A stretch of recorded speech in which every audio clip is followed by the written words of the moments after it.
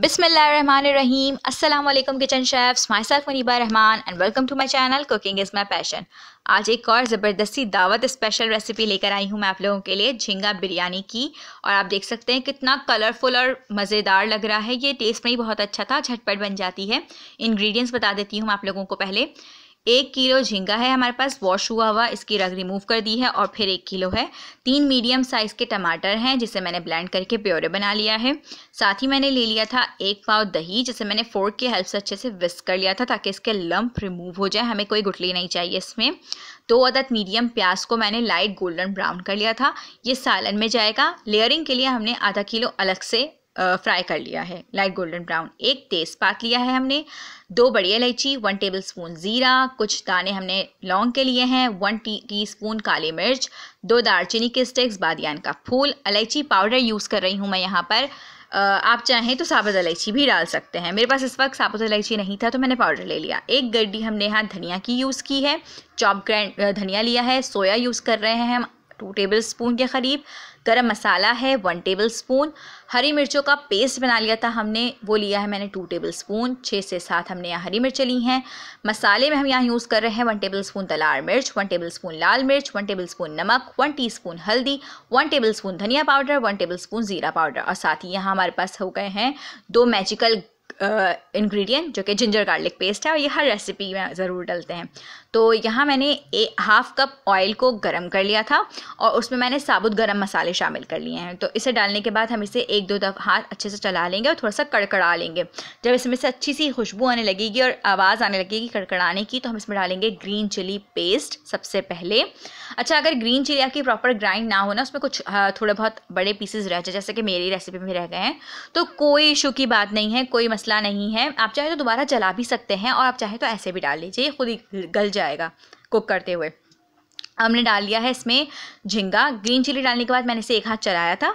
बस हल्के से सिर्फ़ मिक्स कर लिया था। दैट से ज़्यादा नहीं पकाना है, साथ ही हम झिंगा डाल देंगे और अदरक लहसुन का पेस्ट शामिल कर देंगे। अब हम इसे एक दफ़ा अच्छे से मिक्स कर लेंगे और हम इसे इतना कुक करेंगे कि झींगा अपना पानी छोड़ दे। It will take for about five minutes और इसे ढक्कन लगाए बगैर अभी कुक करना है। तो यहाँ देखिए पाँच मिनट गुजर चुके थे। ये देखिए झींगे ने कितना सारा पानी छोड़ दिया है। अब हमें इसे इतना कुक करना है कि झींगे का पानी एवापरेट हो जाए। तो प्लीज़ लिड मत लगाइएगा। हाई फ्लेम पर इसे बीच बीच में हाथ चलाते हुए फ्राई करते रहिएगा। तो ये देखिए, पानी हो चुका है, यहाँ पर ड्राई आप देख सकते हैं झींगे का कलर अभी काफ़ी चेंज हो चुका है। काफ़ी हद तक इस पर गोल्डन शेड आ गया था। तो यहाँ मैंने डाल लिया है इसमें टोमेटो प्योरे और उसी के साथ हम डाल देंगे तमाम मसाले। जो स्पाइसेस मैंने दिखाए थे ना शुरू में, वो सारे स्पाइसेस हम इसमें डाल देंगे और ये शामिल कर लेने के बाद हम इसे एक दफ़ा अच्छे से चलाएँगे और देन हम इसे कवर करके कुक करेंगे फॉर अबाउट फाइव मिनट्स क्योंकि टमाटर की भी अपनी एक स्मेल होती है और अगर टमाटर को अच्छे से भूना ना जाए तो किसी भी सालन में या बिरयानी में उसकी स्मेल बहुत प्रोमिनेंट पता चलती है और वो सालन का टेस्ट ख़राब कर देती है। तो it's very important very necessary कि आप कच्चापन टमाटर का प्याज का अच्छे से ख़त्म कर ले तो यहाँ देखिए, हमें पाँच से सात मिनट लगे थे, अच्छे से टमाटर जो है वो भुना गया है। इस स्टेज पे अब मैं डालूँगी दही। दही डालने के बाद हम इसे एक दफ़ा अच्छे से चला लेंगे और दही भी अपना पानी छोड़ेगा। तो यहाँ पे देखिए, दही जो है डालने के बाद दो से तीन मिनट हमने इसे कुक किया था और देन हमने इसमें तली हुई प्याज शामिल कर दी थी। तली हुई प्याज डालने के बाद हम इसे एक दफ़ा चलाएँगे। यहाँ देख सकते हैं, तली हुई प्याज डालते ही सालन का कलर जो है वो थोड़ा तब्दील हो गया है, मज़ीद थोड़ा डार्क की तरफ़ आ गया है। हमें प्याज को जो है वो गलाना नहीं है इस रेसिपी में।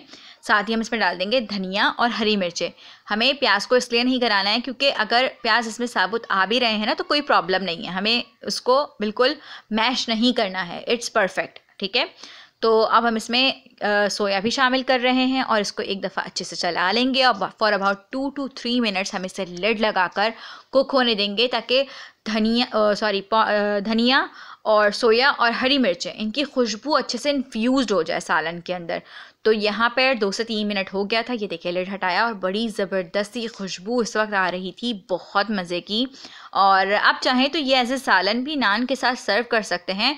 बहुत ही परफेक्ट सालन तैयार हुआ था, मसाला बहुत ज़बरदस्त तैयार हुआ था।